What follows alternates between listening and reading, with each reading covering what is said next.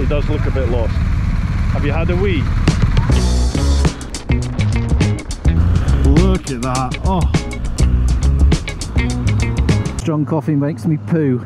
Ah, I like it a lot. Best bike in the world. it's a Spanish Stelvio.